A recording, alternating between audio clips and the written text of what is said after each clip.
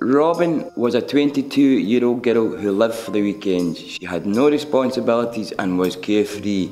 Her life at the time was great, but she was getting bored. She met Danny and finally had the opportunity to settle down with someone who made her happy. Little did she know her world was about to change for the worse. Danny and Robyn were both finding life a struggle as money was tight and soon they had the responsibilities of bringing up their newborn child. Danny suggested dealing drugs would get them out of their rut. He said they would have nice things and lots of money. All of this worked for a while, but the power and the money went to Danny's head. Robyn was raising their son Jack all by herself and life was getting her down.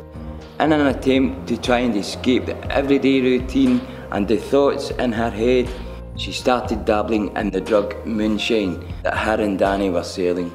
Not realising that this was a false sense of reality, Robyn started using more and more each day so that she could feel normal. The drugs began controlling her life. On top of this, both Robyn and Danny knew that their relationship was on the rocks. The love they once had turned into hate and violence. By the time Jack was two years old, social work were involved and suggested he should go and stay with Danny's parents, with Jack not being there anymore.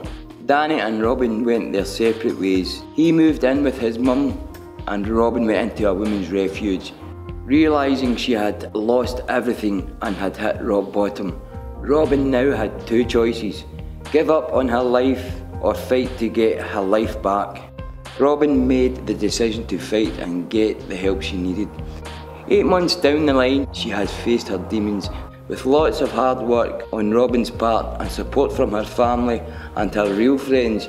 She is now living in her own flat with regular contact with Jack, building up to being a full-time mum. She has taken back control of her life and Robin is now happily drug-free.